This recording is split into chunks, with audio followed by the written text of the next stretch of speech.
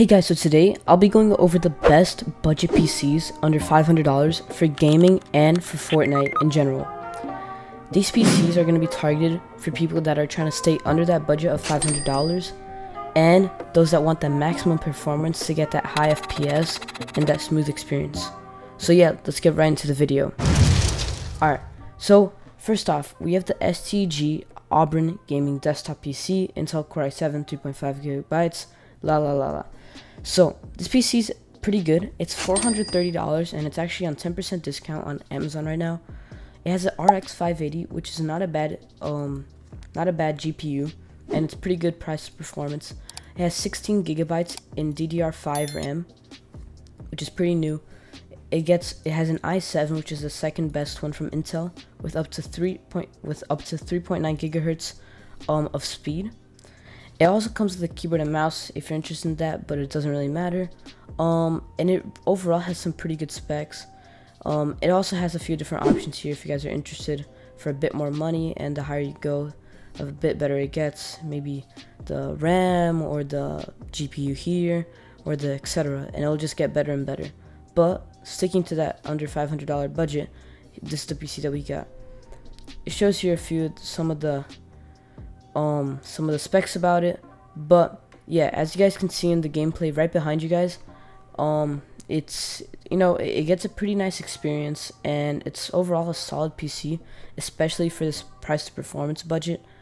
Um and yeah um let's get right into the second pc Alright boys, so for the second PC we have the Dell RGB gaming desktop PC Intel i7 3.5 3.4 gigahertz GTX 1660 Super 6 gigabytes, GDR6, 16 gigabytes of memory, 256 SSD, and other things. Alright, so as you guys can see in the gameplay, this PC is actually cheaper than the one I mentioned previously, but in my opinion, considering the price reduction, I think it's actually a better PC, and that's why I put it in the second place option. It has pretty much the same CPU, and with a slight upgrade to the GPU with a GTX 1660 Super, which is actually a very, very solid GPU.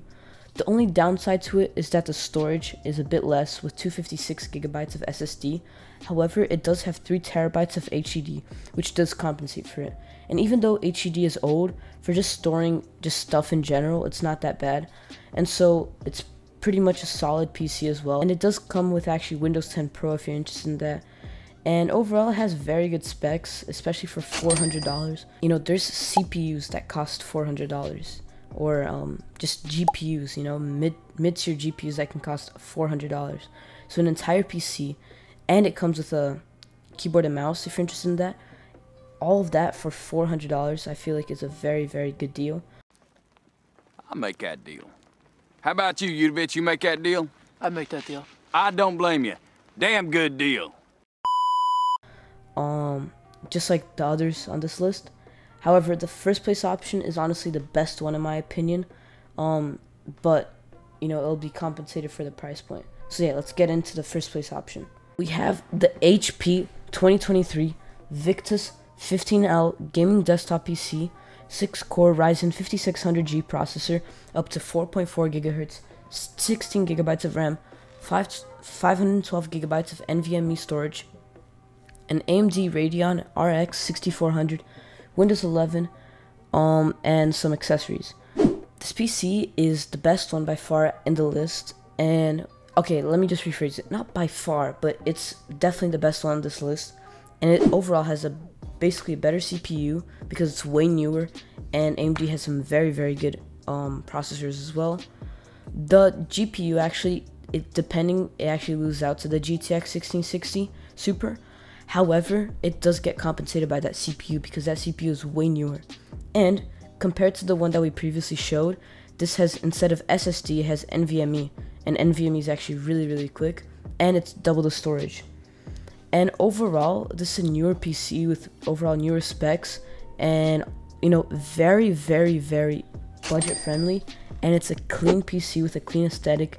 It actually comes with a mouse and keyboard if you're interested, and it comes with Windows 11 and HDMI accessories. And overall, the specs are amazing. And as you guys can see, the gameplay is also very nice. And honestly, this is the best PC out of this list that I would recommend.